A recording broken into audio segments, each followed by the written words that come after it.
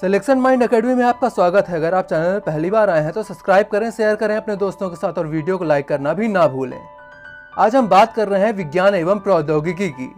विज्ञान एवं प्रौद्योगिकी सभ्य समाज व अर्थव्यवस्था का भौतिक आधार होते हैं। समय समय पर आवश्यकता अनुसार सामाजिक व आर्थिक विकास के उद्देश्यों को पूरा करने हेतु विभिन्न क्षेत्रों में वैज्ञानिक और विचारकों ने महत्वपूर्ण योगदान दिया है। चिकित्सा की देसी प्रणाली आयुर्वेद थी जो प्राचीन काल में विकसित हुई।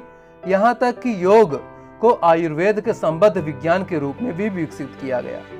आज हम इसी प्रकार के कुछ प्राचीन वैज्ञानिकों की बात करेंगे और उनके विज्ञान को दिए गए योगदान पर चर्चा करेंगे। सबसे पहले बात करेंगे हम महर्षि पतंजलि की। महर्षि पतंजलि को योग दर्शन का पिता कहा जाता है। योग को व्यवस्थित रूप से प्रस्तुत करने वाले ये प्रथम व्यक्ति थे। योग के एक सौ पंचानवे सूत्रों का इन्होंने संकलन किया था। ये एक निबंधाकार थे जिन्होंने प्राचीन भारतीय चिकित्सा प्रणाली यानी आयुर्वेद लिखा था।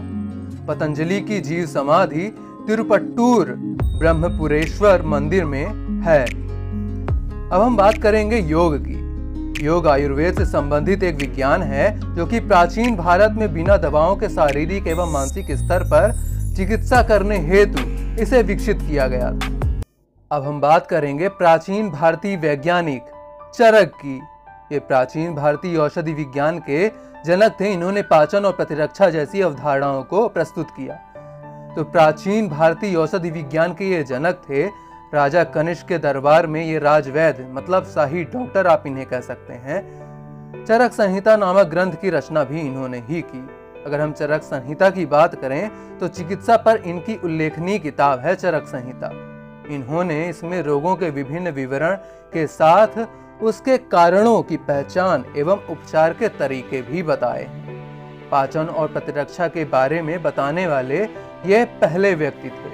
अब हम बात करेंगे प्राचीन भारतीय वैज्ञानिक वराह मिहिर की। इन्होंने खगोल विज्ञान तथा ज्योतिष विज्ञान को अलग अलग शाखाओं के रूप में देखा था। इन्होंने ही सर्वप्रथम चंद्रमा पृथ्वी के चारों ओर चक्कर लगाता है, यह बात बताई थी। इनकी प्रमुख रचनाएँ हैं बृहद संहिता और पंच सिद्धांतिका। विक्रमादित्य के दरबार के नौ रत्नों में से एक थे वराह मिहिर कल विज्ञान भूविज्ञान गणित और पारिस्थितिकी के क्षेत्र में इन्होंने महान योगदान दिया। बृहद संहिता में इन्होंने भूकंप बादल सिद्धांत दिया, जिसने विज्ञान जगत को अपनी ओर आकर्षित किया था। विज्ञान के इतिहास में सबसे पहली बार इन्होंने ही दावा किया था कि बल है, जो गोलाकार पृथ्वी के वस्तुओं को आपस में बांधे रखता है और अब इसे गुरुत्वाकर्षण कहते हैं।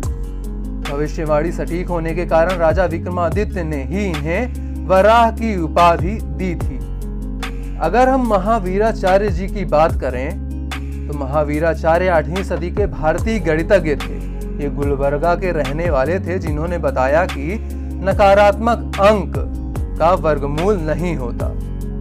जैन गुरु महावीराचार्य ने गणित सार संग्रह की रचना की थी। वर्तमान समय में अंक गणित पर लिखा गया पहला पाठ्य पुस्तक है यह। अद्भुत बात यह है कि अपने समय में इन्होंने समभुज समद्विबाहु त्रिकोण, विषम कोण, वृत्त और अर्धवृत्त के कुछ नियम बताए थे। साथ ही चक्री चतुर्भुज के किनारों और विकर्ण के लिए समीकरण भी इन्होंने दिए थे। इन्होंने दी गई संख्याओं का लघुत्तम समापवर्त निकालने का तरीका भी बताया था। अब हम बात करेंगे आर्यभट्ट की। आर्यभट्ट पांचवी सदी के गणितज्ञ खगोल शास्त्री ज्योतिषी और भौतिक विज्ञानी थे। आर्यभट्टिया इनकी रचना थी, जो कि समय के गणित का सार थी।